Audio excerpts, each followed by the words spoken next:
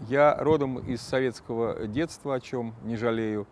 А, и я, конечно, хорошо помню эти героические поездки родителей в Крым дикарем. Это героика советского выживания. Для меня Крым — это вечное ностальгическое воспоминание о детстве, о море. Первое море — это Крым.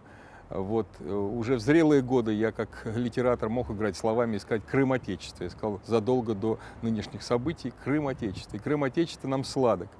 А, вот. Я хотел бы, чтобы, конечно, как любой нормальный человек, адекватный, чтобы э, понятие слова звучание Крым не ассоциировалось с напряженностью, с э, раздорами, с чем-то драматическим, трагическим, но понимаю, что скоро это не произойдет.